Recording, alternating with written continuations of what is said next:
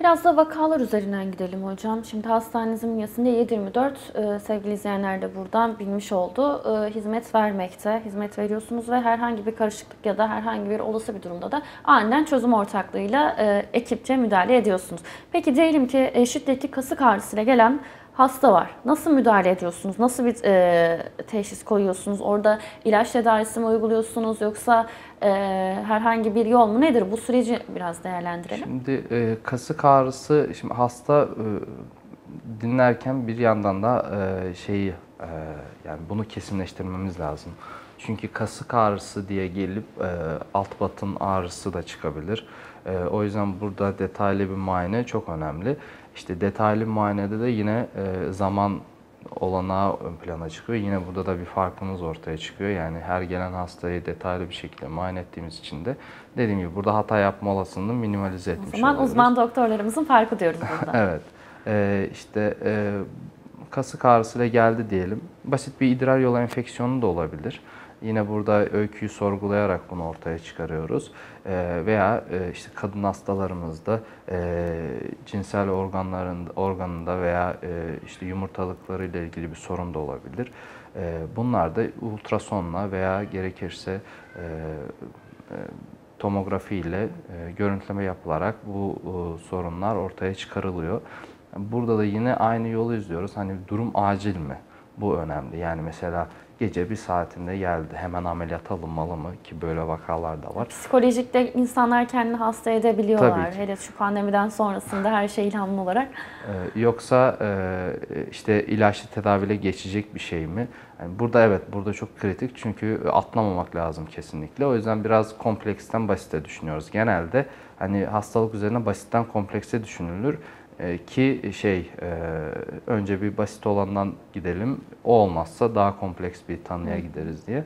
Ama acilde e, biz en çok hayati tehlikesi olacak olan e, tabloyu ilk ön planda düşünürüz. Onu eledikten sonra evet basit bir şey olabilir diye yolumuza devam ediyoruz ki hasta mağduriyeti mümkün olduğunca minimumda olsun. E, işte kasık ağrısı geldiği zaman dediğim gibi e, gerekli tahliller yapılır. E, so- e, ve cevabı bulunana kadar da bu e, devam ettirilir. Yani hmm, e, işte diyelim ki e, ultrason e, yaptırdık ve idrar e, e, tahlili yaptırdık. İşte sonucunda evet batın içi bir sorun olmadığı tespit edildi Aa, ve idrar yolunda enfeksiyon saptadık. E, reçetesini düzenliyoruz. Yine kontrole çağırıyoruz daha sonrasında. İşte kontrole çağırdığımızda evet hasta iyileşme hali hissettiğini söylüyor. O zaman güzel demek ki başarılı e, bir yol izledik. Bazen de kronik bir e, iltihap söz konusu olabiliyor. İşte geldi, e, kontrolü muayene ettik ama e, hasta hala da iyileşmediğini söyledi. Bu sefer yine işte üroloji bölümüyle e, bir konsültasyon içerisine giriyoruz. Onlara yönlendiriyoruz. Kronik bir durum varsa da orada yine tespit edilip daha sonrası için müdahale ediliyor. Tersi bir durum düşünelim. Diyelim ki işte kadın hasta yine böyle kasık ağrısı şikayetiyle geldi. E, biraz da işte karna yayıldığını söylüyor.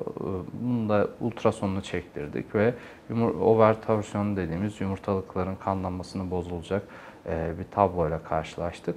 Bu sefer hemen acil müdahale edilmesi lazım. Çünkü o kanlanma bozulmasının dakikalar içinde organ kaybına neden olabiliyor. O kadar ciddi bir şey Tabii ki yani orada mesela hemen hızlı bir şekilde e, onun tanısının konulması ve ameliyat alınıp müdahale edilmesi bu aşamada çok önemli. Yani atlanmaması gereken bir tablo.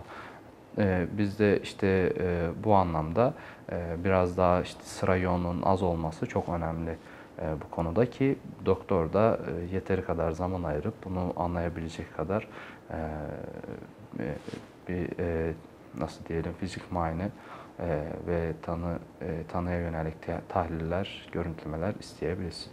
Şimdi bu şiddetli kasık ağrıları her insanda oluyor. Çocukta da oluyor, bayanda, kadında da oluyor, erkekte de oluyor.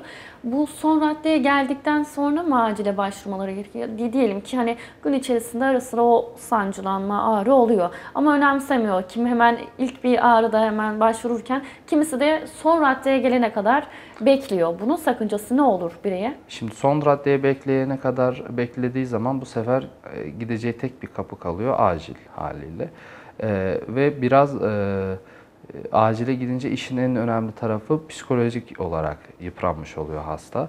E, ama mesela ilk bunu hissettiği zaman ilgili poliklinik bölümüne gitse e, aslında sorun hem ilerlemeden e, hem de e, bu psikolojik olarak bu yükü yaşamadan bu sorunu çözebilir. E, Ama zaten şiddetli olduğu zaman hastanın da aklına ilk gelecek olan şey benim ağrılarımı giderin. Biraz da bu konuda mesela e, şey e, yaşıyoruz bazen hastalarla. E, e, Çünkü hasta ağrısının giderilmesini istiyor ama özellikle karın ağrılarında, e, işte batın içi ağrılarda ağrıyı kesmek önceliğimiz değil. Çünkü bu bize bir nevi aslında e, bir tahlil sonucu gibi bunu düşünüyoruz. Ağrının giderek şiddetleniyor mu, kesilip devam ediyor mu? İşte nerede olduğunu anlamak için muayene ediyoruz, baskı yapıyoruz